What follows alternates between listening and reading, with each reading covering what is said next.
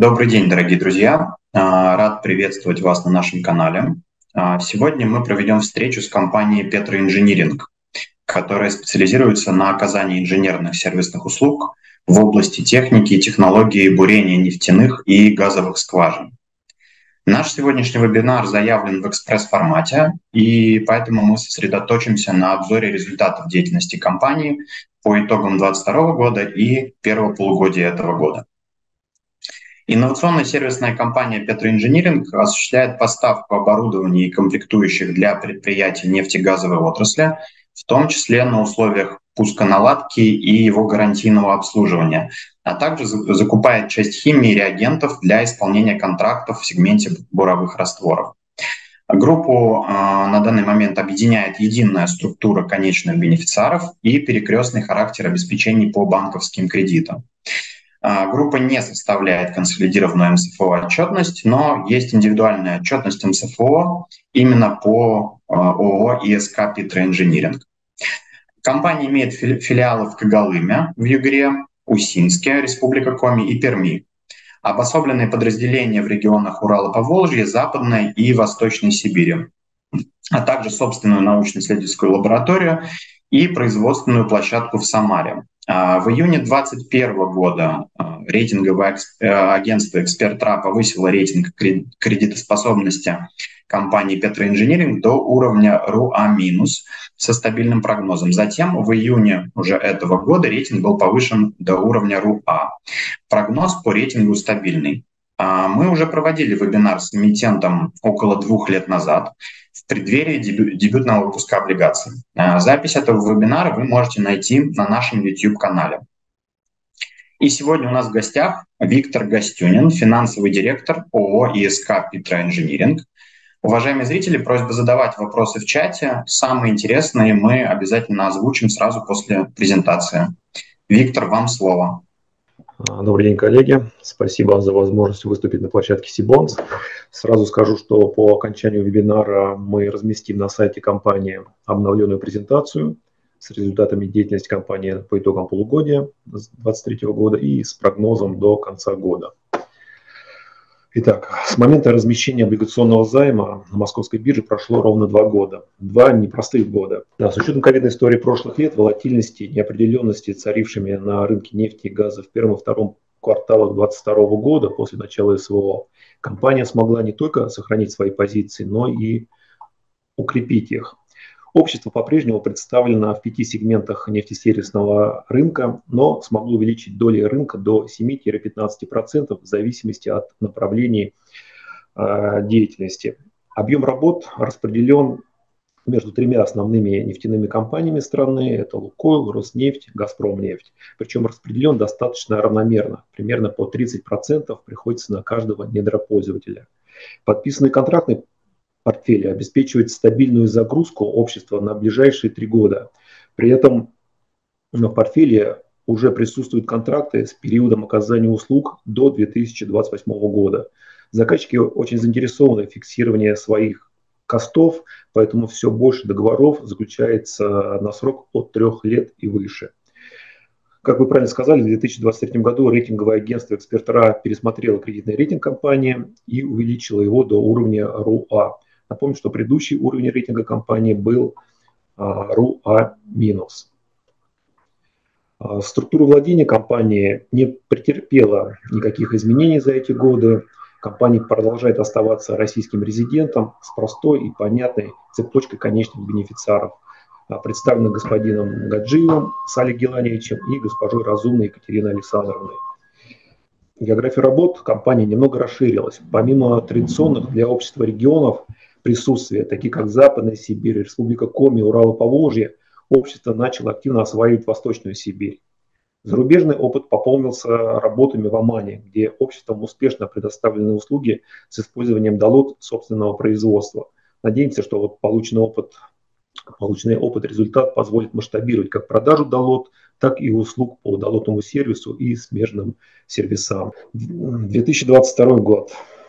Несмотря на все превратности, этот год стал прорывным годом для компании.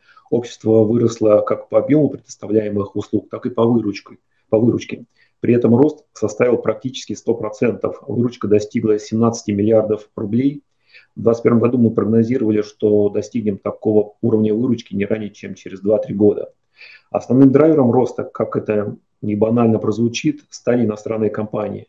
Исторически основную долю нефтесервисного рынка в России до 2022 года занимали иностранные компании, такие как Шлюмберже, Бейкер Хьюз, Халибуртон. В первом и втором квартале 2022 года а, данные компании практически приостановили свое участие в тендерах, проводимых недропользователями, что освободило огромную долю рынка и позволило занять ее российским компаниям.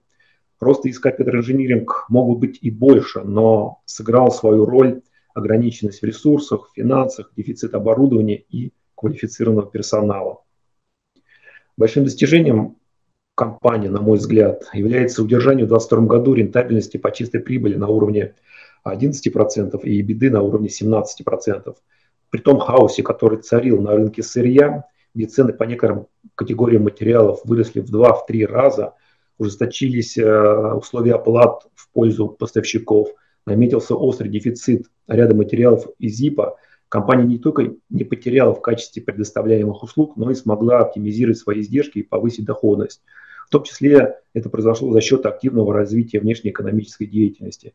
На сегодняшний день компании заключены договоры на поставку химреагентов, оборудования с китайскими, индийскими производителями, с поставщиками из Узбекистана и Казахстана – Развитие ВЭД дало существенную экономию на стоимости материалов. В 2022 году компания получила поддержку и от недропользователей, которая выразилась в сокращении сроков оплат по выполненным работам, а также в индексации расценок по ряду проектов. Не скажу, что практика индексации была повсеместной, но тем не менее даже точная индексация позитивно сказалась на финансовой устойчивости и стабильности компании. В прошлом году общество вошло в перечень системообразующих предприятий отрасли по линии Минэнерго. В перечень вошло чуть менее 200 компаний страны, что позволило принять участие в, под... в программе поддержки путем получения кредитов по субсидированной процентной ставкой. Да, стратегия компании предусматривала рост объемов работ на группа компаний «Лукойл», «Газпром», «Роснефть» до 80% к 2025 году. Но уже а, к 2022 году выручка по группе составила 90%. При этом каждая из компаний в портфеле занимает 30% плюс-минус, что создает определенную степень стабильности, защищенности от рисков и придает гибкость и вариативность компании. Основными генераторами выручки и прибыли в компании исторически выступали сервис буровых растворов и сервис по цементированию и креплению скважин – по службе цементирования, ввиду большей прогнозируемости цен на цемент и оборудование, удается сохранить финансовые показатели на уровне прошлых лет. По сервису буровых растворов показатель рентабельности существенно снизился в сравнении с прошлыми периодами по причине роста издержек. В первую очередь а, химреагентов, доля которых в себестоимости услуг составляет 50-60%. Химреагенты росли в прошлом году, продолжается рост а, и по настоящее время. Долотный сервис, сервис э, предоставления винтовых забойных двигателей остаются в значениях прошлых лет. По сервису телеметрии за счет увеличения доли работ в сложном бурении растет как выручка, так и, и доходность. Стратегия компании не претерпела никаких изменений. Главное, компания в целом ей следует, органически растет, активно замещает иностранные компании – и прорабатывает варианты работы за рубежом. Например, в настоящее время заканчиваем процесс получения аккредитации в одной из стран Ближнего Востока. Относительно ближайшего будущего отрасли, отрасли и компании. Снижение объемов добычи нефти и газа, объемы бурения действительно происходят, но данные темпы снижения не критичны для отрасли, они составляют не более 5-7% в год. С учетом уменьшения доли присутствия иностранных компаний на российском рынке, сервисные компании не только не ощутили на себя данного снижения, но и в большинстве случаев увеличили свою выручку. При этом основным драйвером роста в текущем году станет рост цен на услуги. Средний темп прироста всех сегментов нефтесервиса за счет роста расценок а, составит в среднем 10%. Ожидания на ближайший год-два. По итогам года ожидаем выручку на уровне 20-21 миллиарда рублей. Рост к прошлому году составит порядка 18%, С учетом подписанных договоров, переходящих объемов новых тендеров, полагаем, что выручка в 2024 году будет также где-то в диапазоне 22-25 миллиардов рублей. При росте выручки показатели чистой прибыли и беда просядут. К концу года ожидаем чистую прибыль на уровне 4-5% и беда на уровне 9-10%. В 2024 году при сохранении текущих условий предполагаем, что рентабельность по чистой прибыли и EBITDA также составит 5-10%. На сегодняшний день внутренние резервы по оптимизации издержек а, практически исчерпаны. Поиск альтернативных поставщиков материалов, оборудования, развитие ВЭТ, использование льготного кредита по 895 постановлению о стимулировании параллельного импорта а, уменьшает темп роста издержек, но не более того. Кроме роста цен на материалы и оборудование, в отрасли остро чувствуется нехватка квалифицированного персонала, что вынуждает общество проводить индексацию заработной платы. Комплексных решений помощи в настоящий момент нет а, ни со стороны государственных органов, ни со стороны заказчиков. Единственным решением по увеличению маржинальности остается рост стоимости собственных услуг. В этом с нами солидарны наши конкуренты, рынок. На тендерных площадках при подаче коммерческих приложений наблюдается рост, существенный рост расценок в сравнении с прошлыми периодами, с прошлыми годами. Аналитики говорят то же самое, что главным драйвером роста нефтесервиса в ближайшие несколько лет будет рост цен. С учетом действующего портфеля работ, новые объемы работ с увеличенными расценками скажутся на рентабельности деятельности компании не сразу, постепенно. А, постепенный рост ожидаем, наверное, с 2025 года Сколько времени понадобится, чтобы достичь уровня рентабельности 2021-2022 годов, а, сказать сложно. Пока мы отталкиваемся от текущей действительности, при наличии господдержки системы образующих предприятий, куда мы вошли, при стимулировании со стороны заказчиков, ну, например, отказ от шоков, штрафов, уменьшение сроков оплаты, авансирования, смягчение требований по аварийному запасу химии на кустах, прочих мерах, можно, можно существенно улучшить финансовые показатели – для этого нужно только желание и воля обеих сторон. В целом же мы позитивно смотрим в будущее, считая, что все трудности носят временный характер и вполне преодолимы. В целом, наверное, это все, что я хотел сказать а, и рассказать. Спасибо за внимание. Готов ответить на ваши вопросы. Да, спасибо большое, Виктор. А, уважаемые зрители, просьба активнее задавать вопросы в чате, пока перейду к своим вопросам. А, предлагаю немножко все же поговорить про рынок. А, Виктор, вы вкратце обмолвились про конкурентов. Кого вы считаете своими основными конкурентами? А, в презентации, да, в материалах вы указываете, что в каждом сегменте, в котором вы работаете, по доле, доля, приходящаяся на вас, находится там от 7 до 15 процентов.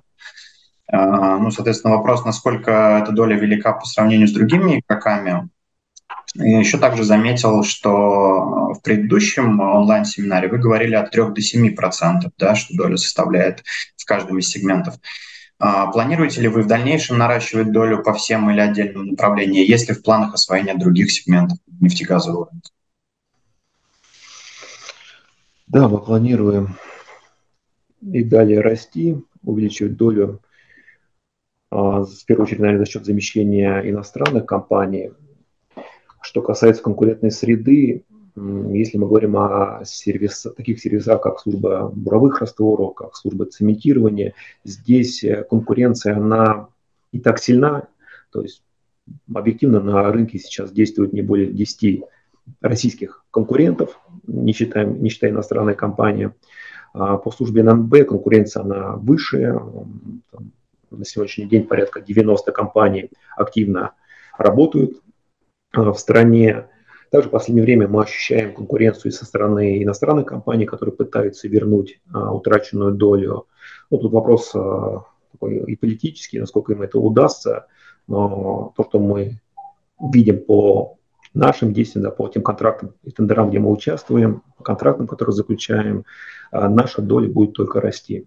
И выручку, как я вам говорил, вот, если мы по этому году ожидаем ее на уровне 20 миллиардов, то на 2024 год она просматривается на уровне 23-25 миллиардов. А, Да, а, также у меня вопрос был по клиентскому портфелю. А, вы сказали, что основными клиентами являются Роснефть, Лукойл и Газпром с примерно равными долями. А, но в целом какая часть заказов приходится на этих трех крупнейших клиентов? С какими-то компаниями вы еще работаете? Расскажите немножко подробнее. 90% выручки мы генерируем за счет э, группы компаний «Лукойл», «Газпром», «Роснефть». Это замечательный показатель, который, к которому мы долго стремились. Э, оставшиеся 10% представленными прочими недропользователями, буровыми компаниями, менее крупными, но они также нам интересны с точки зрения а, географии работ, маржинальности, но все равно основной, основной драйвер роста мы видим за счет э, увеличения объема работы все-таки на трех китов отрасли. Планируете ли вы расширять свой бизнес с точки зрения географической экспансии? Какие новые регионы вам могут быть интересны? Ну, рассказали про э, зарубежные страны, да, расскажите также, может, про Российскую Федерацию. Еще немножко об этом подробнее. В России мы уже представлены во всех регионах, где в настоящее время добывается нефть. Единственное, в последние год-два а, увеличивается наше присутствие в Восточной Сибири. Восточная Сибирь сейчас активно разбуривается, если можно так сказать, и мы теря... стараемся идти в ногу со временем и активно заходим в этот регион, причем всеми сервисами. Что касается планов по внедрению, развитию новых сегментов деятельности – ну, скажем так, пока в проработке э, готовых решений нет. Да, мы присматриваемся к новым видам, к хай-теку, к новым направлениям деятельности, но с учетом ограниченности ресурсов, ограничений по ввозу оборудования в Российскую Федерацию, скажем так, наши планы пока остаются в стадии проработки. До реализации дело не дошло. Угу. Да, вот вижу вопрос в чате. Хотел э, сначала задать на эту же тему вопрос от себя. Для российской экономики последние годы одна из основных проблем – это кадровый голод. Как обстоят дела с кадрами а, в вашем периметре деятельности? Не пришлось ли поднимать зарплаты в ущерб экономическим показателям компании в борьбе за человеческие ресурсы? Действительно, дефицит кадров присутствует в целом в отрасли. К сожалению, последние два года, особенно в период пандемии, наметился массовый уход людей в целом из отрасли. А, на нехватку кадров жалуются не только сервисные компании, но и недропользователи, наши непосредственные заказчики. Люди массово уходят из профессии. Уходят э, в торговые сети, прочие направления. То есть никому не хочется ездить на севера, работать вахтовым методом и получать, в принципе, тот же уровень зарплаты, который они могут получать у себя а, дома, не выезжая никуда за границы проживания. А, на сегодняшний день численность компании составляет 1630 человек, при этом есть нехватка нехватка людей. А, вы видите, да, что мы приросли в два раза. Это же рост не только по выручке, но и в физическом а, выражении. Соответственно, активно ищем людей, а, чтобы заинтересовать сотрудников в работе нашей компании. Вынуждены проводить индексацию. Мы уже дважды провели индексацию за эти два года. Скажем так, в настоящее время уровень зарплат нашей компании он в рынке. Но из-за общего, общего дефицита людей в профессии а, проблему пока решить не удается. Да, Виктор, ну вот и вопрос из чата. Какова доля зарплаты в себестоимости? Тут надо смотреть по сервисам. Но если мы говорим в целом по компании, доля зарплаты составляет процентов 25. Угу. Спасибо. Да, еще задам несколько вопросов от себя. А, сейчас актуальный тренд – это цифровизация во всех э, отраслях. А, и в профильных изданиях пишут, что для вашей отрасли путь цифровизации довольно а, дорогостоящий. А выбор решений при этом не, не очень велик. Так ли это и насколько успешно вы занимаетесь цифровизацией своего бизнеса? Хороший вопрос, спасибо. Занимаемся, занимаемся цифровизацией, скажем так, до последних два года, наверное, мы активно внедряем программу, которая позволяет, скажем так, текущие проблемы, вопросы, которые стояли перед службой бухгалтерии, перед экономистами, финансистами, мы уже решили. Оцифровали, автоматизировали все процессы.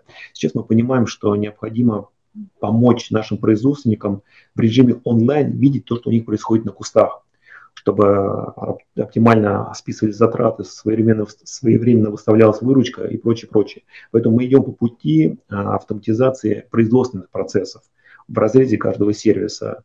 А, в основном обходимся собственным софтом, своими разработками. Ну и если мы говорим все-таки о внешнем рынке, то, что мы можем предложить э, заказчикам, то в нашей компании уже несколько лет назад был реализован центр проектирования и планирования скважин.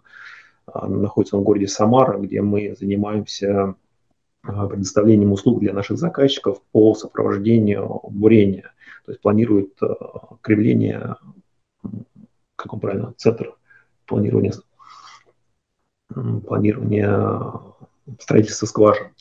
То есть это, это, этот продукт э, мы также модернизируем и продаем рынку. Угу, да, спасибо. Предлагаю перейти к финансовым вопросам. Судя по вашей отчетности, э, текущий год, 23 э, не стал для вас простым. Выручка увеличилась, 7 примерно миллиардов э, в первом полугодии 2022 года до 10 миллиардов в этом году. Однако валовая прибыль снизилась с 1,2 миллиарда до примерно 1,16 миллиардов рублей. Чистая прибыль тоже снизилась с 775 миллионов рублей до 385. Каких показателей ожидаете по итогам всего 2023 года? Тоже вы вкратце обмолвились об этом. И, и как итоги этого года будут выглядеть на фоне итогов прошлого? Да, я презентацию озвучил, что mm-hmm. несмотря на рост выручки, показатели по чистой прибыли и беде будут существенно ниже. 4% мы ожидаем рентабельность по чистой прибыли против 11% по прошлому году. Причина тут объективная. Тот рост издержек, который был в 2022 году, продолжается в 2023 году, мы его не можем перебить ценой. К сожалению, рост цен на услуги нефтесервиса растут медленнее, чем затраты на, на покупку материалов, оборудования, ЗИПа. А, плюс да, в этом году сейчас наблюдаете на рынке колоссальный рост дизельного топлива, базового масла, которое мы используем для приготовления бурового раствора – и понимаем, что вот эта тенденция по росту издержек, она будет только набирать обороты. И, соответственно, к сожалению, чудес не бывает. Все внутренние резервы мы уже использовали, поэтому предполагать, что рентабельность по итогам года будет больше, чем 4-5%, но это опрометчиво. Так как э, все-таки нефтесервис и вообще нефтяная отрасль, она очень инертна, с учетом переходящих объемов заключенных контрактов, эта тенденция сохранится на ближайший год-два.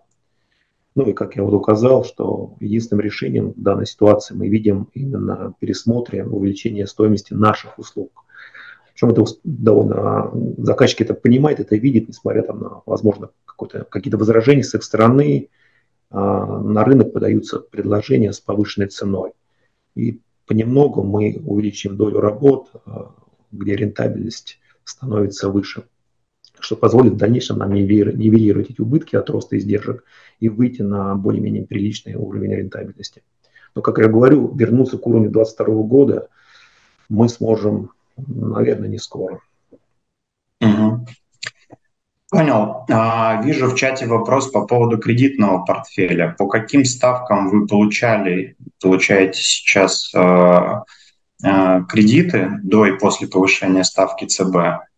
А какова доля кредитов с плавающей ставкой в ваших пассивах? Можете рассказать подробнее про кредитный портфель? Да, компания вынуждена активно кредитоваться. Кредитный портфель в целом вырос как раз по причине роста объемов работ, что потребовало закупа материалов, оборудования. А, соотношение долг и беды у нас по итогам полугодия превысила пограничное значение, составил коэффициент 4,5. К концу года мы все-таки ожидаем снижения его до уровня 2, а, так как основные оплаты будут происходить в конце года, что позволит нам а, освободить часть кэша и направить его на погашение кредитов. А, что касается структуры кредитов, ну, в основном это кредиты банков. 81% портфеля представлен кредитами. Кредитуемся в крупнейших банках страны.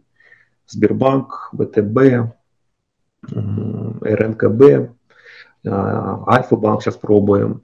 Ищем задачи у финансистов, так как нагрузка по обслуживанию портфеля возросла, ищем варианты удешевления. Изначально мы пошли по пути привлечения кредитов по плавающей ставке, ну и средние ставки у нас на сегодняшний день это ключ плюс 2-2,5%. Ну, соответственно, с учетом роста мы сейчас кредитуемся под 14,5-15%. К сожалению, нагрузка высокая, вариантов по снижению пока мы не видим. Да, есть инструмент по 895 постановлению, по которому мы финансируем наши зарубежные поставки. А на сегодняшний день там ставка где-то около 6,5-6,6%. Пока более дешевых источников ликвидности мы не, не смогли найти. Угу. Да, а, еще несколько вопросов поступило а, по поводу ваших клиентов, заказчиков. Кто из них демонстрирует наилучшую, наихудшую платежную дисциплину? Хороший вопрос. Раскрывается информация. Дабы никого не обидеть, э, исторически самую лучшую платежную дисциплину всегда демонстрировала группа компании «Лукойл». Наверное, мы это объясняем тем, что это более коммерческая структура, которая понимает а, и вникает в сложности и потребности своих субподрядчиков. А, у них самые лояльные сроки оплат, самые небольшие да, по срокам. Мы говорим, в нашей отрасли не принято авансировать, к сожалению, подрядчиков. А, все заказчики платят постфактум, но сроки оплат разнятся. А, для Лукойл это в последнее время это оплаты срок до 60 дней.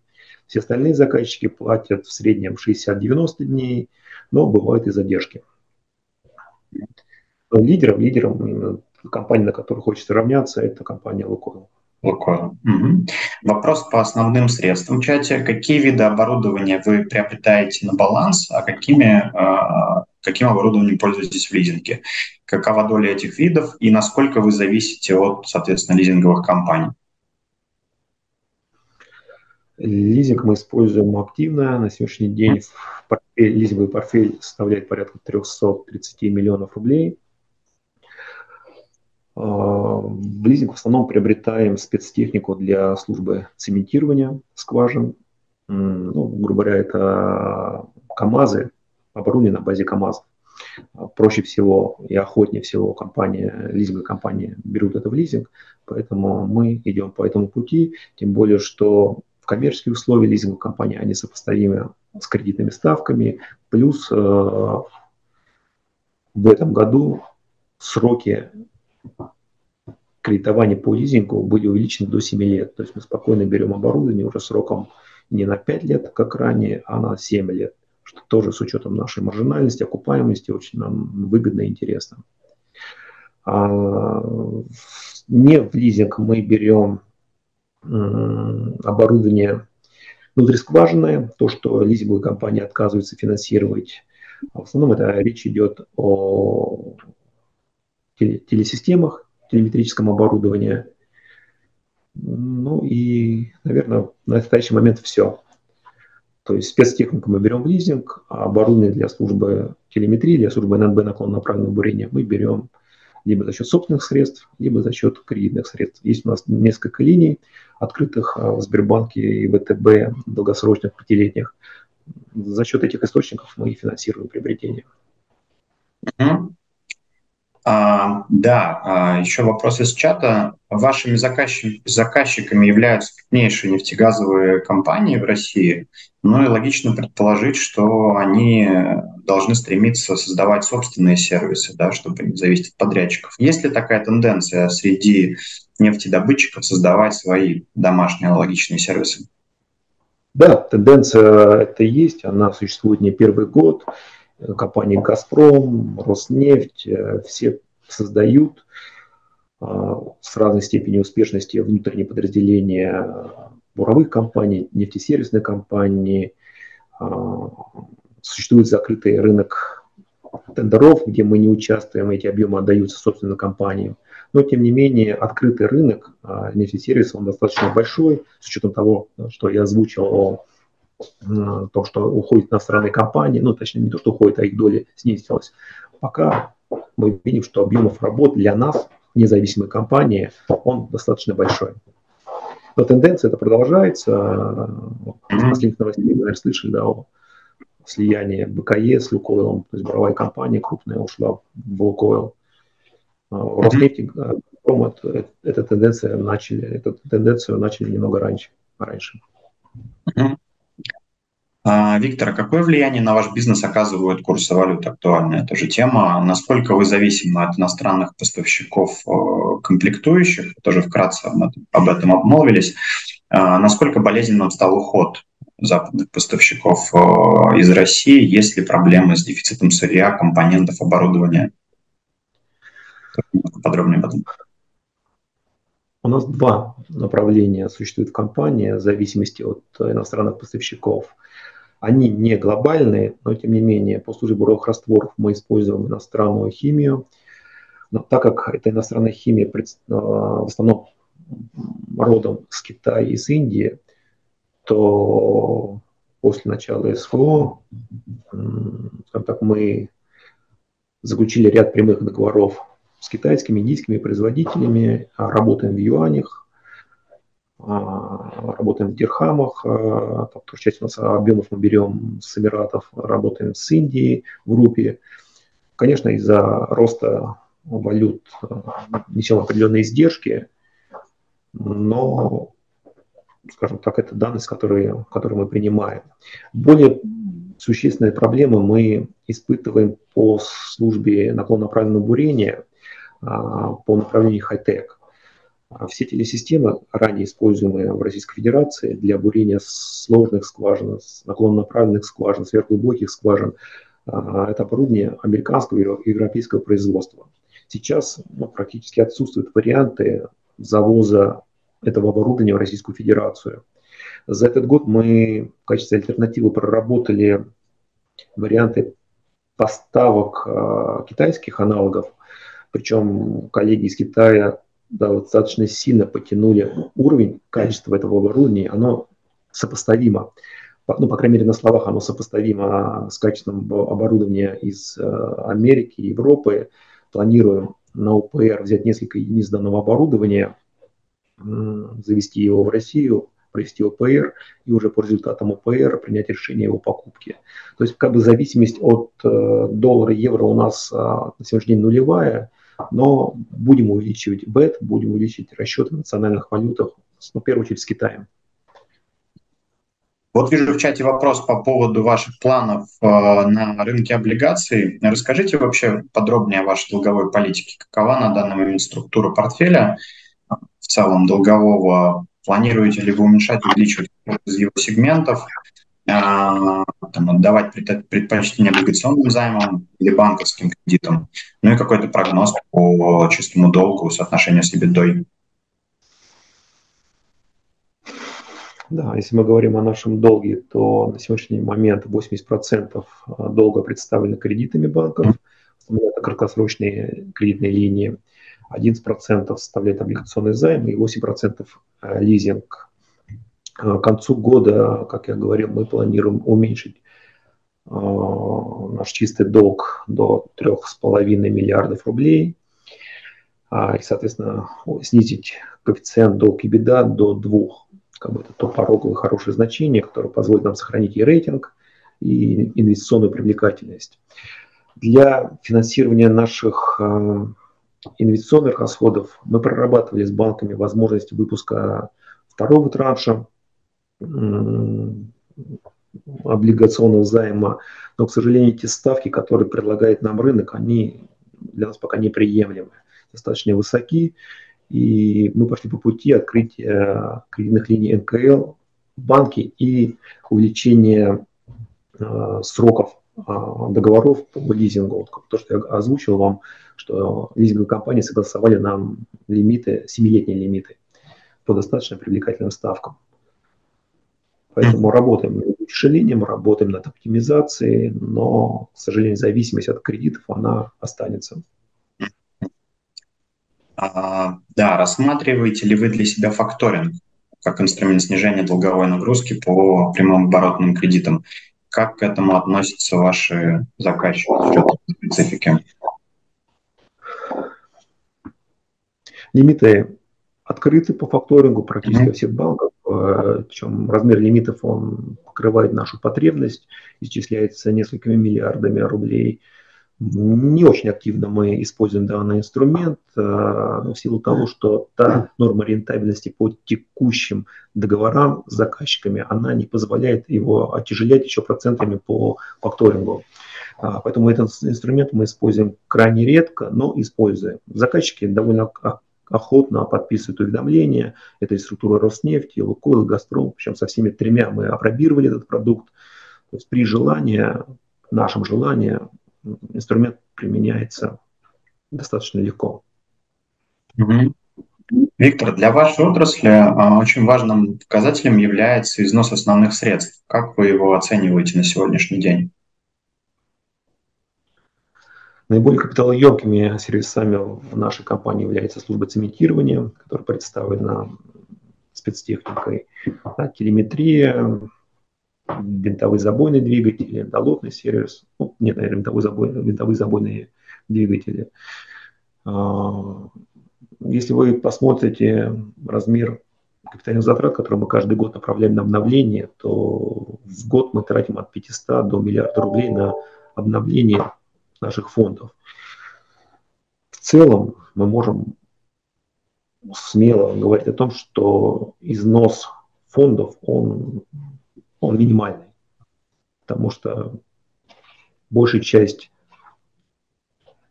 средств мы как так своевременно обновляем, модернизируем, ремонтируем. Ну и традиционный вопрос от Сибонс. Планируете ли вы IPO? Изменились ли ваши планы за два года, когда был последний вебинар?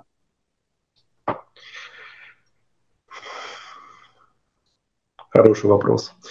Наверное, как у финансиста, это моя голубая мечта, к которой я стремлюсь. Но объективно мы оцениваем вероятность выхода на IPO как минимальную. То есть мы не видим того профицита, бонуса, который мы можем получить выйдя на IPO.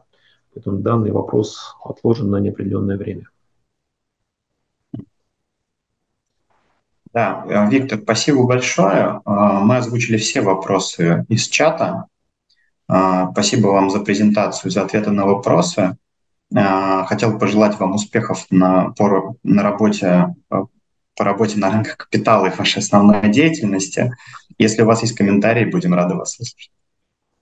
Спасибо, спасибо большое. Еще раз спасибо за предоставленную возможность выступить. Надеюсь, я успокоил наших инвесторов. Еще раз подчеркнул, что несмотря на все сложности, ну, мы оцениваем наше положение как, на рынке как стабильное. И есть пути, есть куда развиваться, много планов по развитию. Это и офшор, это и зарубежные проекты. Поэтому уверен, что и в отрасли, и в целом, в целом и в компании все будет хорошо. Спасибо вам. Звучите очень позитивно, спасибо.